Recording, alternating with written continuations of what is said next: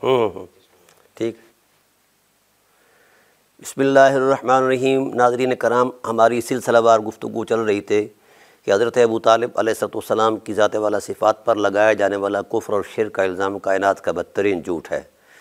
तो हमारी गुफ्तु सूरह तौबा की आयत नंबर 113 के हवाले से जारी और सारी थी उस सूरह मुक़दसा के चौदह शान नज़ूल हैं, जिनमें से चार या पाँच हजूर की वालदा करीमा के लिए और एक या दो जो हैं जनाब अबू तालब सलाम के लिए।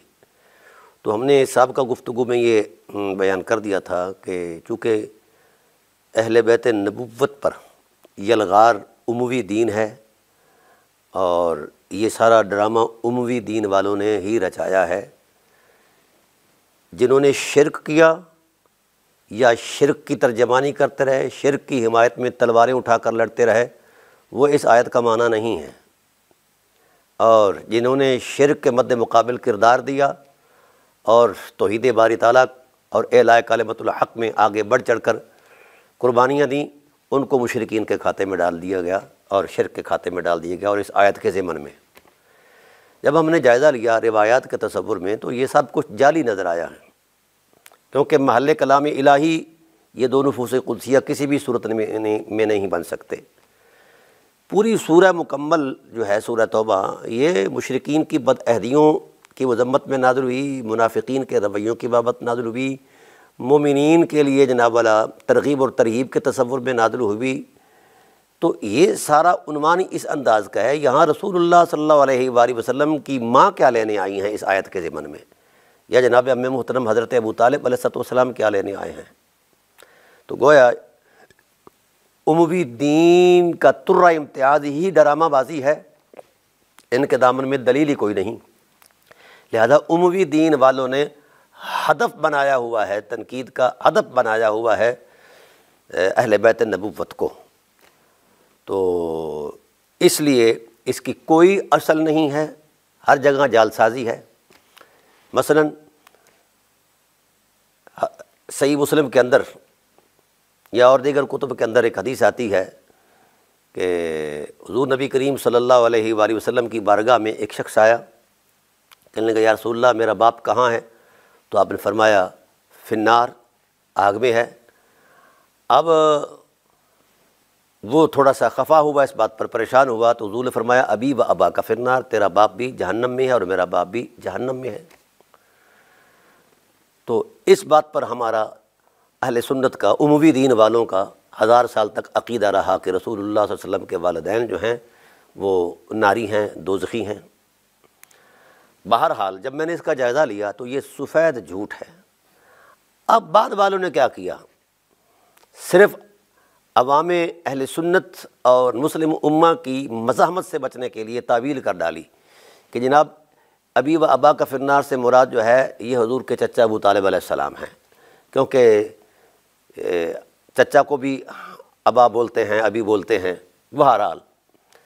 तो मैंने जब इसका जायज़ा लिया तो फिर मुझे मज़ीद एक और शख्सियत की ज़रूरत पड़ गई कि चलो यहाँ तावीरन अबू तालब आ गए। इन्हीं हमारी कुतुब सुनिया के अंदर, अहादीस के अंदर, सही मुस्लिम के अंदर हजूल सलाम की वालदा करीमा के बारे में भी यही है। उम्मी माँ, उम्मी को माँ मेरी माँ तुम्हारी माँ के साथ जहन्नम में जल रही है।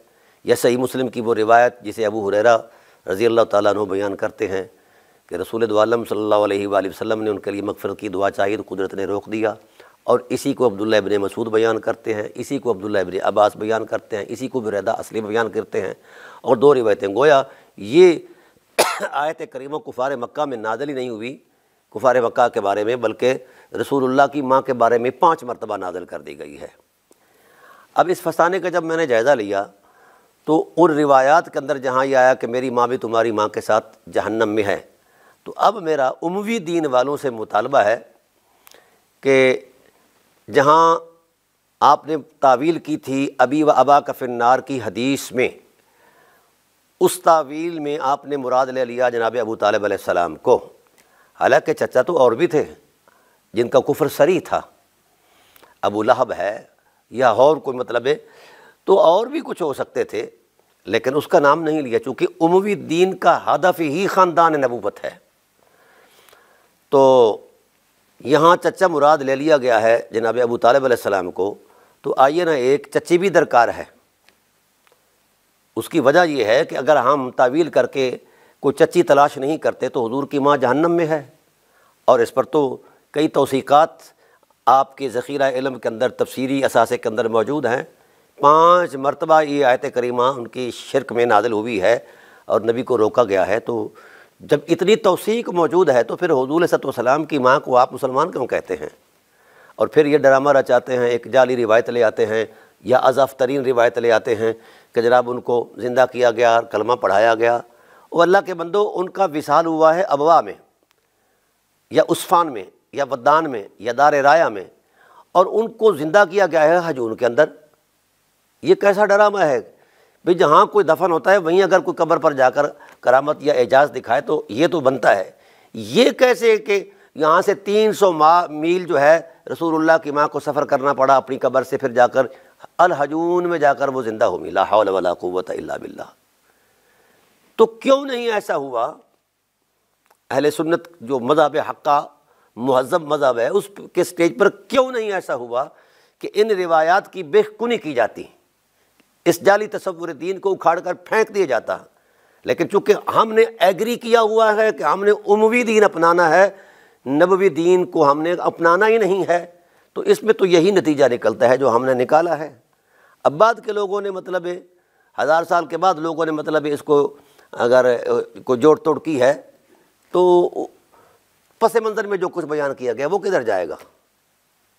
तो लिहाजा, अब आइए असल की तरह मैं ये चाहता हूँ कि तावील करें हमारे बरेलवी उलमा के एक चाची तलाश करके लाएँ जो हज़रत फ़ातिमा बिनत असद सलवात तहा की जगह ना हजूल सलाम की वालदा की जगह हजू सैद आलम सल्ला वसल्लम की वालदा करीमा की जगह बतौर चची वो नार में जले और हजूर की वालदा को बचा लिया जाए। लेकिन ये कभी नहीं कर पाएँगे ना इनके बस की बात है। ना ये करेंगे चूँकि बदनीयत लोग हैं हजूर के ख़ानदान के ये दुश्मन लोग हैं ये बर, गाली बर्दाश्त कर लेंगे और तवीले कर लेंगे। चची ज़रूरी चाहिए। कहीं से उधार लेकर आओ वरना आपका ये मज़हब डूब जाएगा कि आप हजूर के वालदेन को मुसलमान मानते हैं।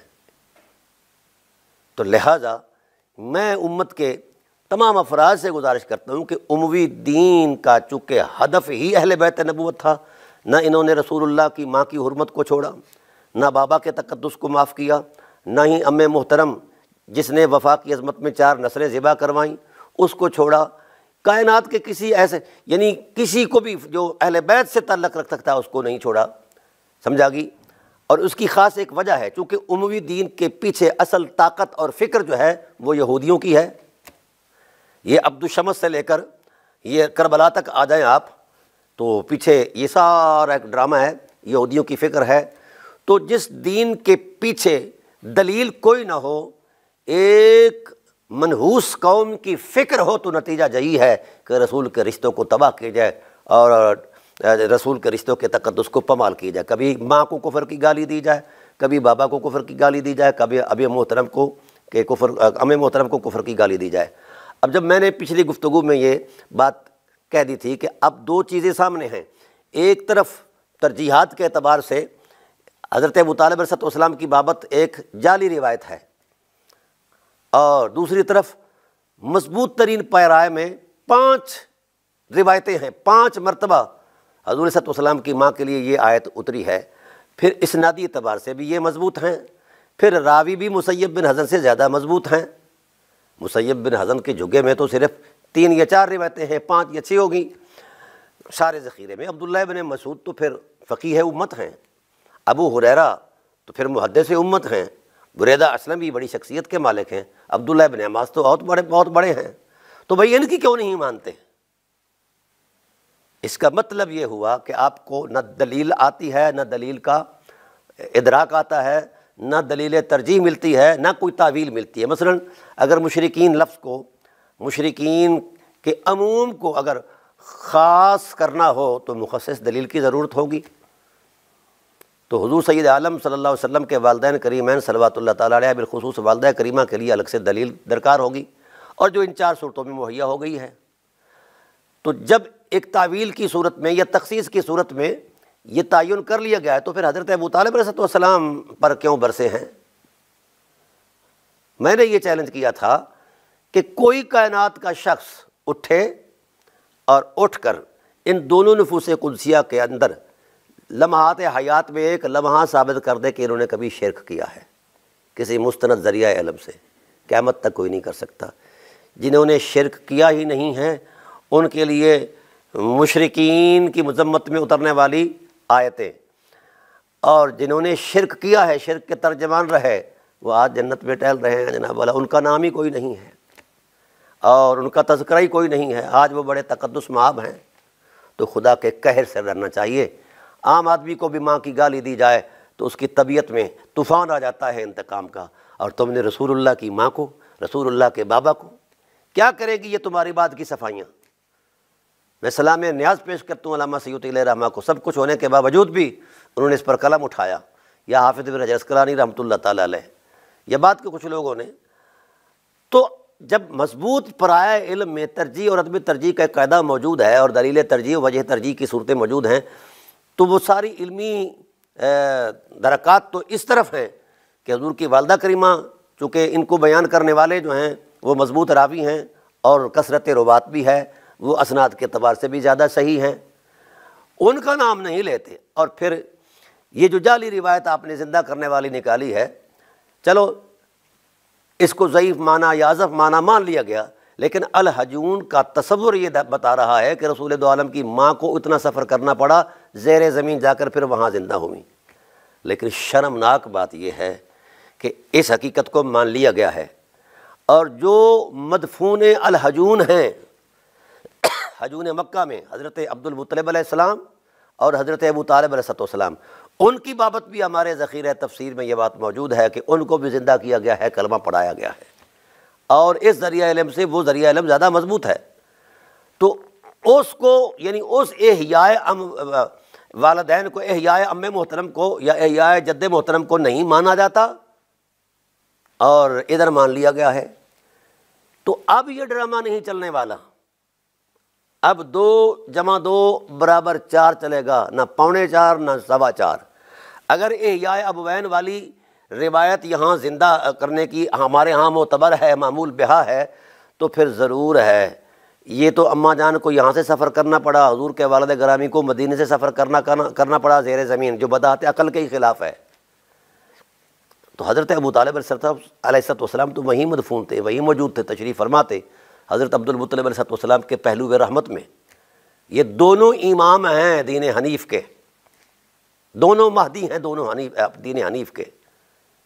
तो जो इमामुल होनाफा है, वो ज़िंदा अगर कर लिए जाएँ और उसकी तस्दीक भी हमारे ज़ख़ीरा इलम में आ जाए तो वो काबिल कबूल नहीं है। तो अब ये झूठ नहीं चलने वाला हजरात। अब मंजर आम पर आपको आना होगा। एक तो चची तलाश करके ले आओ क्योंकि हज़रत अबू तालब के मद्द मुकाबल जो चची बनती है, वो हज़रत फ़ातिमा बिनत असद हैं। और वो नाज इस्लाम है, रसूलुल्लाह की माँ हैं। छप्पन साल आपकी खिदमत हजूर की ज़ात के साथ जो वाबस्ता है, इनकी मिसाल ही कहीं नहीं मिलती। और अगर वो नहीं हैं तो फिर चचा बदलो कोई और, जिसने शिरक किया है, जिसने शिरक किया ही नहीं है, सारी उम्र यही नारे लगाता रहा मलिकुन्ना सलहू शरीकुन वल वहाब वल मुबदी वल मुईद वमन तहत समा लहू बहक़ वबिन फ़ौक़समा लहू अबीदो मैं खुदा, मैं उस खुदा को ला शरीक कहता हूँ जिसका शरीक ही कोई नहीं है। वो ज़मीनों का मालक भी है, आसमानों का मालक भी है, कायनात का ज़र्रा ज़र्रा उसी के हजूर सजदा रेज है। तो भाई, न तो आपने अबू तालब सलाम के सीना अकदस में छुपे राजों को माना, न कुरान के हवालो आसार को माना। जाली जड़ कटी धड़ कटी सर कटी रिवायतें ले आकर घुसेड़ कर हज़रत अबू तालब सलाम की तकफीर कर दी काजी बड़े पैराए में तो अब आपको पेश करना होगा यही रिवायत जो पाँच मरतबा रसूलुल्लाह की माँ को काफर बनाने के लिए आई है, इसका जवाब देना होगा। अगर नहीं है तो तोबा करें इज्तमाही तोबा करें यह बरेलवियत। कि हज़रत अबू तालब सलाम पर कुफर और शिर का इल्ज़ाम जो है, ये कायनात का बदतरीन झूठ है। तो फिर तो मैं मानूँगा कि इल्मी दयानत है, और ये कोई सुन्नी दीन मोहतरम दीन है। वरना मैं यही कहूँगा कि ये सुन्नी दीन नहीं, नबवी दीन नहीं है, उमवी दीन है। चूँकि उमवी दीन का बुनियादी हदफ ही यही था कि वह अहल बैत नबूत और हजूर के हरम की पमाली के लिए वो हर तरह के जनाब वाला जुल्म और बरबरीत करते रहे हैं। तो इसलिए उम्मत को होशियार होना चाहिए। इन उमवी दीन वालों से नफ़रत करनी चाहिए, क्योंकि उमवी दीन के पीछे न कुरान है बतौर दलील, न हदीस है, न रसूल है। उमवी दीन के पीछे जो है, बुनियादी वजूहत और फ़िक्री तनवात जो हैं, वो सिर्फ़ यहूद के हैं। तो आप अब्दुलशम से लेकर करबला तक आ जाएँ, आपको पीछे ताकत और फोर्स जो है वो यहूद की मिलेगी। और आज भी हमारे अरब जो हैं, ये क्यों नहीं बनी इस अपने इसराइल के मद्दे मुकाबले आते? चूँकि ये उनके ममनून एहसान हैं, उनको राजबाड़ों में बता बाँट कर बाँट कर उनको हुकूमतें देने वाले भी वही यहूदी हैं। और फिर चूँकि उन्होंने यहूद ने, यहूदी औरतों को इनके घरों में भेजा था और उन यहूदी औरतों से, के वतन से ये लोग पैदा हुए हैं तो अपने ननिहाल के साथ तो कोई नहीं अपना लड़ता। तो लिहाजा, ये फ़लस्तीन के अंदर या गज़ा के अंदर किरदार इसलिए नहीं दे रहे हैं कि चूँकि उनकी जेनेटिक स्टेटस जो है उनका वो उधर से आया है। तो दीन भी उन्हीं के हवाले से है।